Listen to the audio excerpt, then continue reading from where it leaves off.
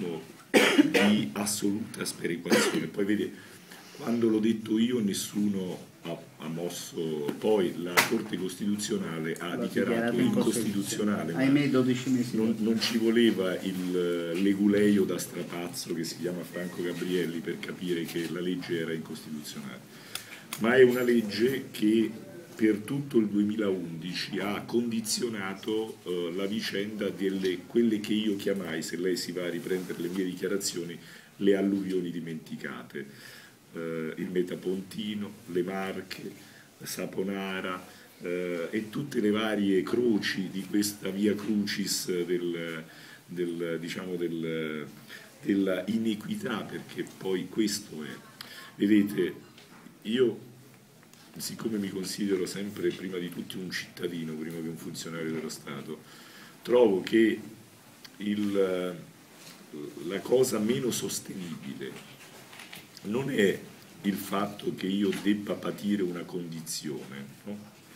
è che la mia condizione sia valutata, come diceva correttamente lei, in maniera assolutamente diversa a seconda dei momenti, della latitudine, del clamore mediatico che si riferisce a una vicenda eh, e, non, e, e dico sempre questo, ma un cittadino di Saponara che paga le tasse, perché non ha gli stessi diritti di un cittadino di Verona piuttosto che di Vicenza, piuttosto che di Firenze o di un'altra città italiana? E allora c'è qualcosa che non va ed è eh, il fatto che innanzitutto io sono un convinto assertore, non me ne voglia, che ormai il sistema paese non è più in grado di sopportare in maniera adeguata queste cose per cui ci vuole l'assicurazione obbligatoria. Un'assicurazione assistita dallo Stato, un, chiamatemela come volete, siccome negli altri paesi funziona così, almeno quelli più evoluti, perché lo Stato oggi non è più in grado di sostenere in maniera perequata in maniera equa eh, gli esiti di eventi calamitosi. Non è più in grado di farlo. Non ci vuole il, eh, lo scienziato di Bruxelles o quello di Francoforte per, per certificarci che oggi lo Stato, inteso nella sua complessità, quindi lo Stato centrale, le regioni, i comuni, oggi non sono più in grado di dare risposte certe ma soprattutto eque. Allora questo è un tema che però sono i legislatori che dovranno metterci mano, ci dovranno dire signori così non va. Io in questi tre anni ho subito tre interventi, non tre interventi chirurgici, ma tre interventi normativi, anzi per la precisione ne ho subito cinque. La legge 10, il DL 59, la legge 100, il DL 93, la legge 119 e tutti hanno cercato di mettere le pezze a colori rispetto a una situazione che ha questa origine.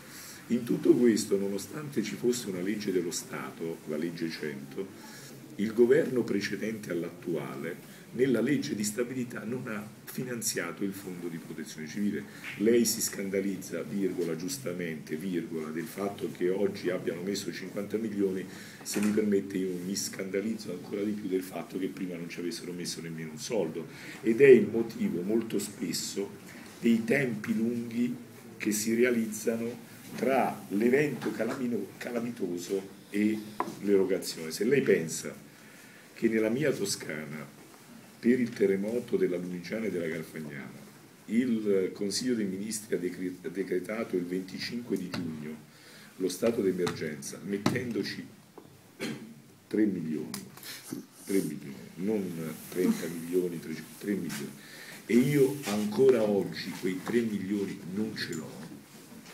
Io credo che già questo significa che qualcosa non va ma sarebbe estremamente poco gentile e improvvido venire qua e ribaltare il tavolo, lei viene a parlare dei miei problemi, io parlo dei miei, ma i, i miei problemi sono anche i nostri problemi. Vicenda del 7 e dell'8 di, di, ottobre. La vicenda del 7 e dell'8 di ottobre ha come dire, una serie di situazioni particolari, perché è vero, come ha detto lei, che perché vede dall'ottobre del 2012 le regioni che intendono accedere al meccanismo della dichiarazione dello stato d'emergenza nazionale non possono limitarsi alla dichiarazione di giunta caro governo dacci lo stato d'emergenza. Cioè per me, con tutto rispetto, è carta straccia. Nel senso che se... e perché dico questo? Perché il, nella materia di protezione civile, che è materia concorrente, è lo Stato che dà le direttive, poi le regioni fanno le norme di dettaglio. Il Presidente del Consiglio dei Ministri, con una sua direttiva nell'ottobre del 2012, ha detto, cara Regioni, se tu poi lo stato, la dichiarazione dello stato di emergenza mi devi produrre questo, questo, questo, questo, questo, questo, questo, questo e quest'altro. Perché? Ma per una semplicissima ragione. Siccome il principio che regola tutto il sistema è un principio sussidiario, in base al quale il comune non ce la fa, interviene l'organo territorialmente solo. Non ce la fa quell'altro, non ce la fa questo, interviene lo Stato. Allora per chiedere lo stato d'emergenza la Regione deve in qualche modo certificare che la richiesta dello stato d'emergenza è eh, a basi solide. Quindi deve fare la richiesta, la deve documentare, il Dipartimento poi va e verifica in maniera ovviamente speditiva quella che è la corrispondenza delle cose dichiarate alle cose effettivamente realizzate. In effetti, in effetti nella vicenda del 7 e dell'8, che peraltro ha riguardato una parte di territorio a cavallo di due regioni, una regione ha mandato la documentazione in una determinata data e il 15 di novembre il governo ha dichiarato lo stato di emergenza, sì. quindi non la Sardegna, No. A Puglia. A Puglia. Sì. Da quest'altra parte le carte sono arrivate un po' più tardi e quindi sono arrivate il 20 di novembre e noi abbiamo mandato il tutto il 29 di novembre al governo.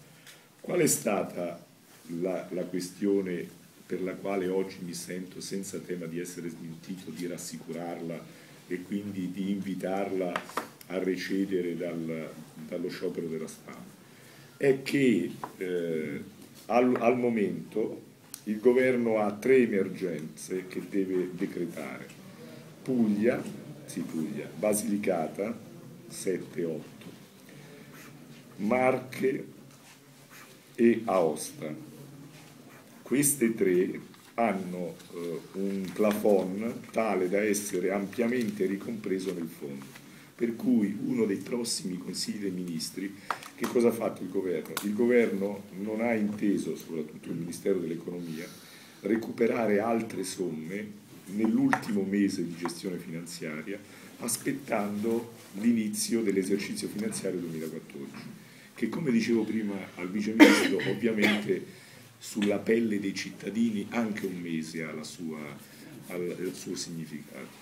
Da un punto di vista contabile un mese è un dodicesimo per cui si può fare a dicembre, si può fare a gennaio. Ecco perché io oggi le posso dire, e, e una, una, delle cose di cui vado più fiero è che io non faccio mai promesse di cui non abbia eh, in qualche modo contezza o certezza. Oggi vi posso dire che queste sono le prime tre pratiche che il, il Consiglio dei Ministri si troverà nel mese di gennaio, non so quando faranno il prossimo ma saranno nella condizione di avere il fondo rifinanziato e quindi potranno essere individuate le somme necessarie rispetto al fondo, al fondo stesso. Che cosa succederà poi? Innanzitutto quella non è l'ordinanza, perché lei deve sapere che dal, dal 16 di maggio del 2012 il Presidente del Consiglio dei Ministri, siccome gli hanno spiegato che con la protezione civile ci si fa male, non sto scherzando, allora qualche consigliori gli ha detto, Presidente, con la protezione civile ci si fa male, quindi le ordinanze non le firmi lei, le faccia firmare al capo del Dipartimento della Protezione Civile. Infatti le ordinanze oggi le firmo io, io ho qualche dubbio, perché da un punto di vista di architettura costituzionale il Presidente del Consiglio fa norme extraordinarie perché è garantito dall'articolo 95 della Costituzione. Un semplice funzionario dello Stato mi riesce un po' più complicato che in base a una norma ordinaria possa derogare addirittura tutte le leggi. Ma questo poi... No, ma ci sono problemi che poi... No, no, lo mettiamo in una busta, vedrà che fra qualche anno salterà fuori qualcuno che farà considerazioni di questo tipo. Dichiarata lo stato d'emergenza, io nel giro di pochi giorni faccio l'ordinanza, per cui nomino un commissario, il quale commissario che cosa fa? Fa essenzialmente tre cose all'inizio, anzi ne fa una quarta, che sarebbe quella della perimetrazione dell'area del, del, dell'evento.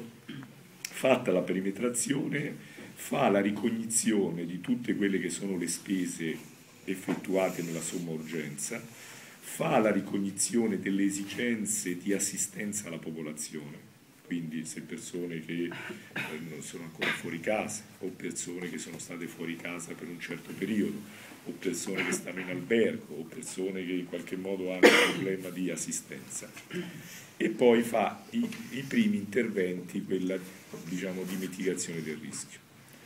Poi, e questa è la novità della legge 119 rispetto alle leggi precedenti, fa la ricognizione dei danni pubblici e privati, laddove per i privati non sono solo quelli che attengono alle, diciamo, al singolo cittadino, ma anche all'attività imprenditoriale.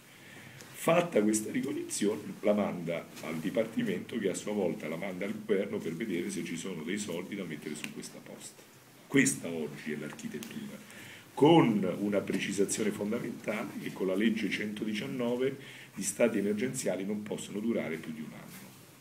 Quindi tutto quello che può essere fatto in, in, dal punto di vista emergenziale si deve consumare in un anno. Poi le attività possono anche realizzarsi in una fase successiva, ma gli impegni e la definizione di queste attività devono esaurirsi nell'anno, ovviamente nei limiti delle risorse messe a disposizione.